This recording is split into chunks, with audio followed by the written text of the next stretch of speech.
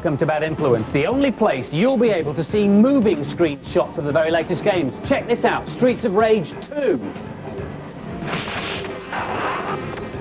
And the main review this week is Joe and Mac Caveman Ninja on the SNES. Our panel give their opinion.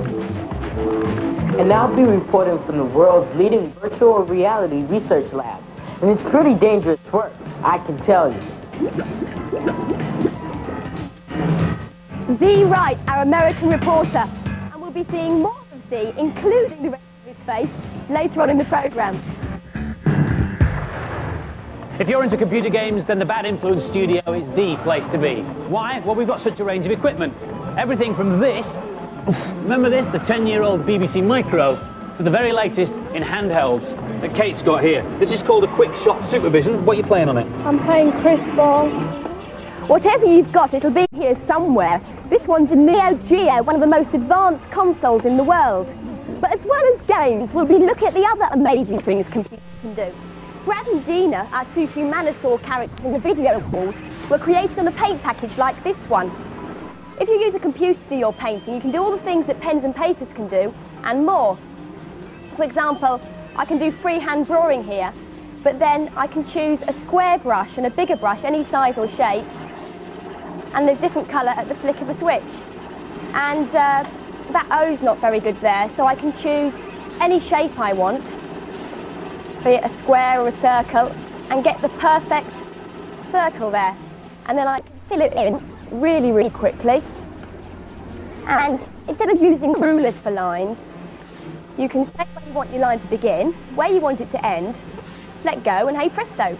And uh, you can use this airbrush facility as well. Oh, got a mistake there. Get rid of it in a flash. You can do airbrushing, which basically is spray painting, which you definitely wouldn't be able to do at home otherwise. And the final one.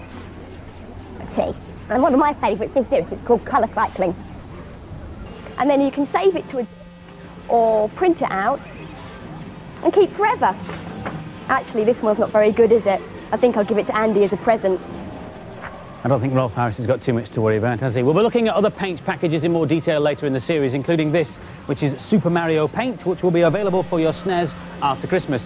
In the meantime, though, we do want to hear from you. If you've got computer-generated pictures, animations, graphics, anything we show on telly, we'll get this. Go on. The Bad Influence T-shirt. We'd also like to hear from you, well, if you've got any views on anything to do with computer games, consoles, video games, and we'll give you the address to write to at the end of the programme. In fact, the address and loads of other bits of information will be in what we're going to call the data blast. To access it, all you need is this, your humble video recorder. Video the last minute or so of the programme, including the credits, which is the boring bit where everybody who made the show's names goes across the screen. Then when you've done that, rewind it and play it back.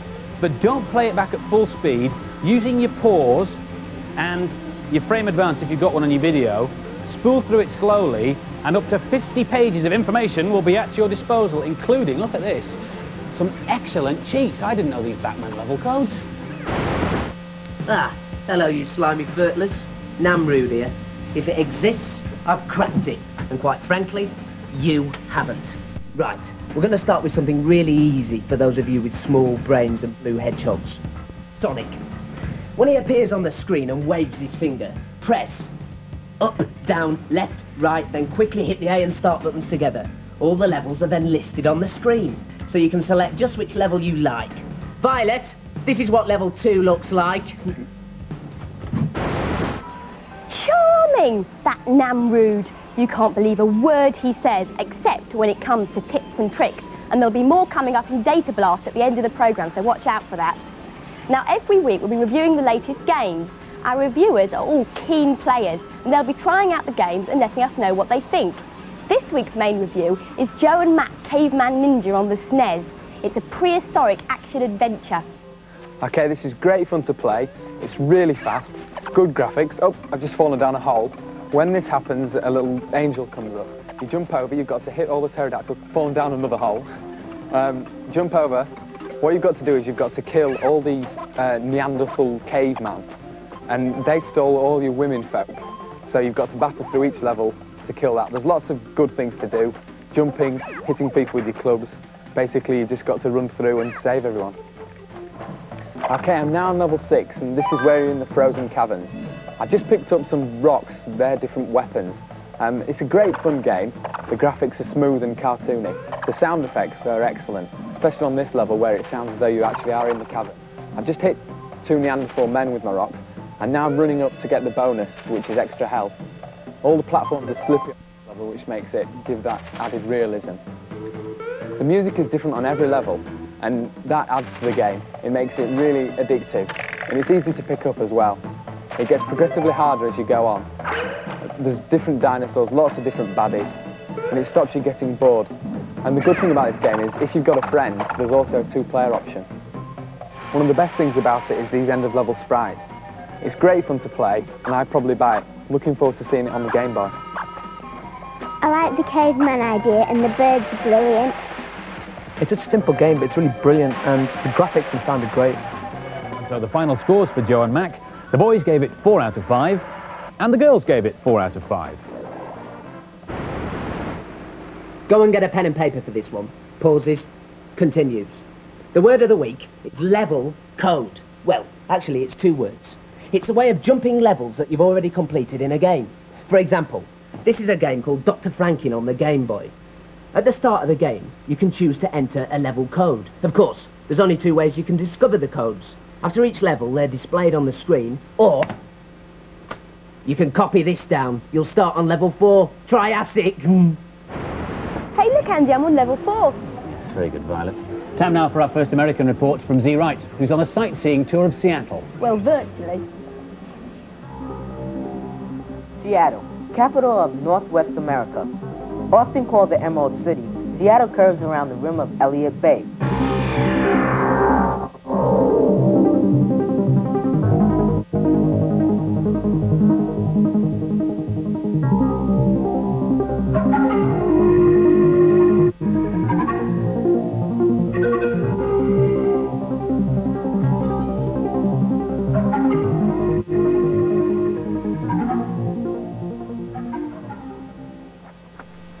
To be my best sightseeing trip ever, and I didn't have to walk a step. That fly-through view of Seattle only exists inside a computer, but it felt pretty real to me. It's called virtual reality, and it's one of the newest ways for computers to present complicated information. Until recently, you can only communicate with your computer in a much more boring way, feeding it commands through a keyboard or a mouse. For many jobs, this is still the best way to use them but some people need to cope with more information than can be contained on a flat screen. Now you can actually wear your computer. You're no longer on the outside looking in. The images and sounds go straight to your senses, giving you a complete experience. There's one TV screen for each eye, and these are stereo earphones. And the knob on top of the helmet is called a Polhemus, and it lets the computer track your movements. And there's a whole series of commands that can unlock secret worlds.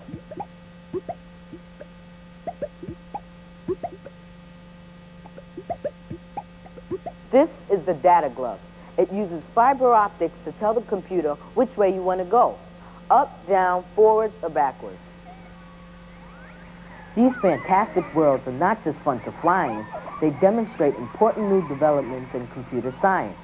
They were made here at Seattle's Human Interface Technology Laboratory, or HITLab.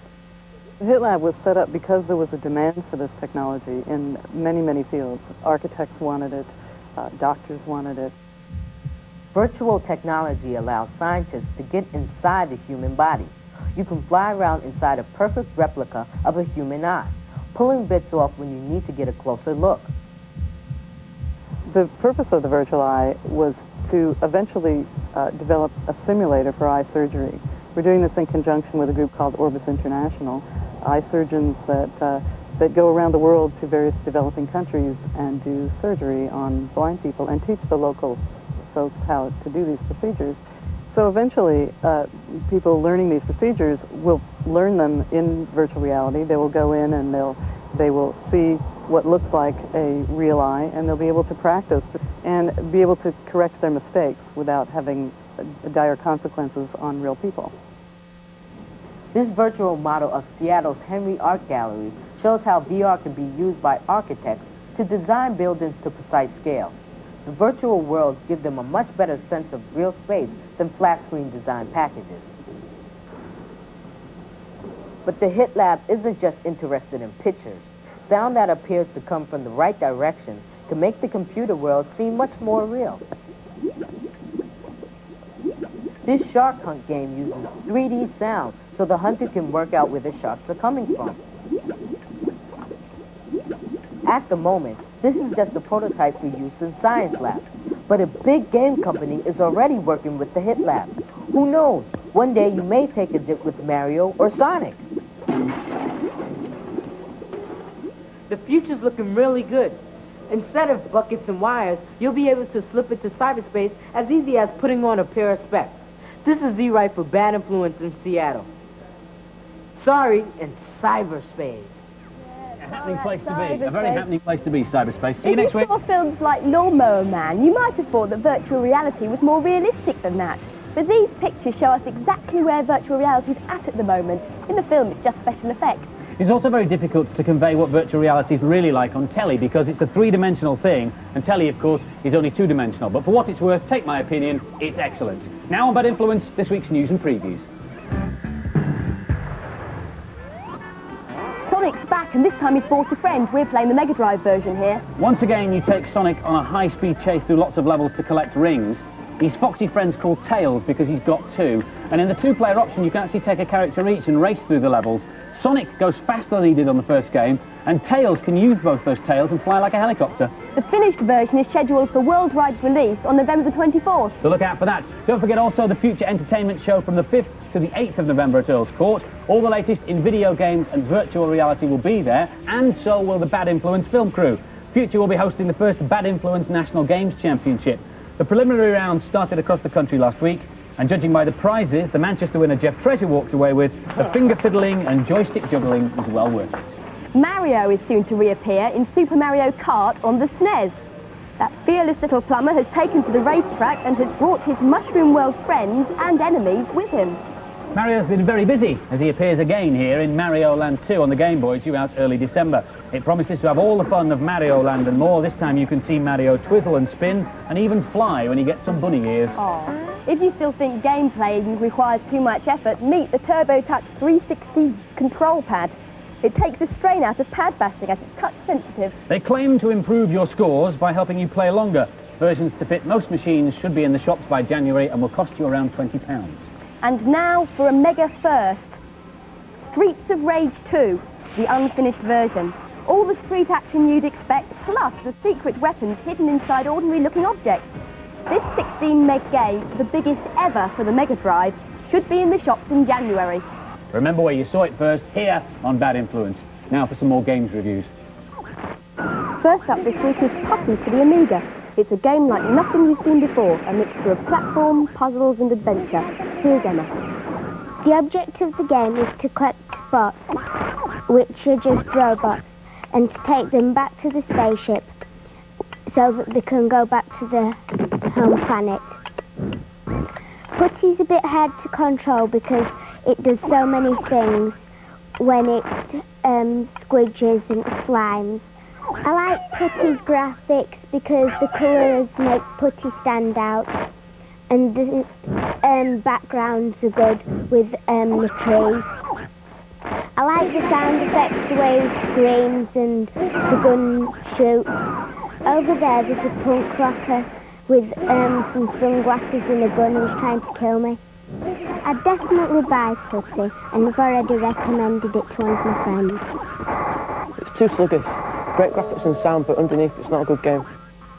The graphics are really good, especially the cat, and it's not too fast and it's pretty playable. And the scores for Putty, the boys gave it 2 out of 5, and the girls gave it 4 out of 5. Next is Super Smash TV for the Game Gear. It's a classic arcade shoot 'em up based on a futuristic TV game show. It's already appeared in other formats. Here's Lakesh. The graphics are kind of dull. Um, the idea behind it is quite simple. Just destroy everything on the screen and collect the power-ups. This is the new Mutoid Man, and he's the end-of-level guardian for level 1. To get through the level, it's fairly simple, but once you reach this guy, you need a lot of credits to get past him. He's very, I've been spending approximately 10 minutes just to complete this guy, and I'm not really getting very far, or I don't really know if I am. It's, oh, I'm dead. I wouldn't really buy Smash TV. There are better games out for the Game Gear, and personally I prefer Pac-Man to it. It was quite good, but it was really difficult to see what was going on. It's okay, but the directional fire isn't very good on the Game Gear. And the scores for Super Smash TV, the boys only gave it 2 out of 5, and the girls 3 out of 5. And finally, it's Battletoads for the NES. Here's Amanda. Graphics on this are really fun, and cartoons, and you can really take your aggression out on them. And what I'm hitting at the moment is one of the monsters, and you've got to kill it twice in order for it to actually die. And then you pick up its bones, and you can hit them with this instead. This is level two, and the gameplay is completely different. The graphics are really amazing. I mean, just look at these pictures, and the music isn't irritating, which is really good as well.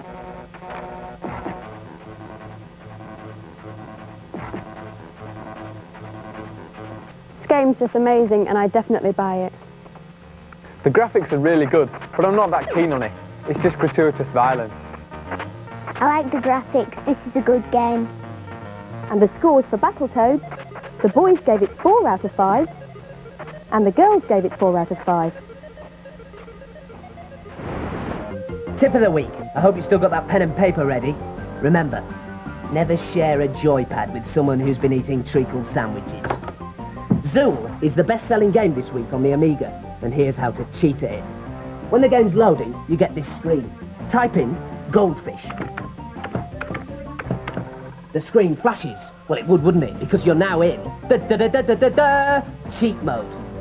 Keys F1 to F6 let you choose any world that you want. There are some other cheats on the other keys, but you'll have to find those out for yourselves. Thanks, Nam. He'll be turning up every week with tips and hints and cheats. But don't let that put you off. There'll be some interesting stuff too. Yeah, we're going to be asking some serious questions of the game's manufacturers, like, why do console cartridges cost up to £65? But Bad Influence isn't just about games. We'll also be finding out about all the other exciting things computers can do, like this, for instance. And now for something completely different. I'm sorry, I'll say that again. And now for somebody completely different. Eh, that wasn't quite as painful as it looked. It's a computer trick called morphing, which is short for metamorphosing. You've probably seen it in commercials or films. This is Igor. Igor's brilliant. He's a very clever little robot. He learns just like we do by trying things out, making mistakes and learning from them. Later in the series, we'll show you how he learned to hop like that all by himself. And don't forget the Bad Influence magazine available from mid-November. It's packed full of tips and reviews and info on the programme. And that's about it for this week, except the competition. And the question is as follows. What are the names of our two Humanosaur characters? That's those two on the screen behind me. Here's a clue. The answer's not Violet and Andy, but if you think you know what it is, put it on a postcard or a stuck-down envelope and send it to us here at Bad Influence to reach us by next Monday, please. First out of the sack, we'll get a Nintendo Action Pack with Super Scope, but better than that, you'll get a Bad Influence t-shirt as well. Don't forget to video the data blast for the address. That starts in a couple of seconds. And we'll leave you with a clip of Sonic 2. It's a very special secret level that only two people and a blue hedgehog know the code for. See you Saturday 9.25 for What's Up Doc. Take care. Bye-bye.